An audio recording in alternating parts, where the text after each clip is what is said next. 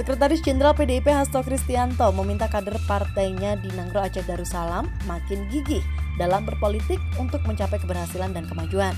Menurutnya, membangun partai tak bisa dengan membakar kemenyan, namun harus disertai kerja kolektif dengan penuh keyakinan politik.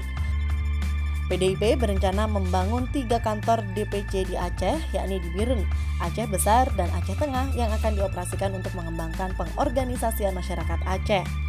Ini juga diyakini membuat masyarakat Aceh makin dekat dengan PDIP.